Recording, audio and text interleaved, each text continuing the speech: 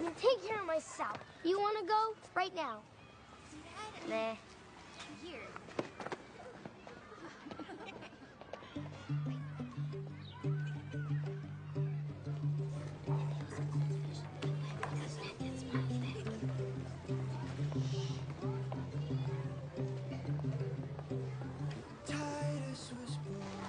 Where's your lunch?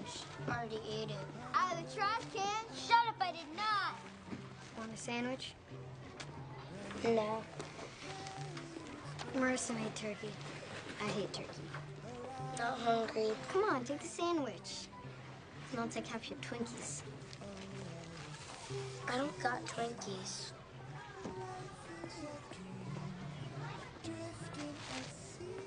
Hey, those are mine! And now they're his.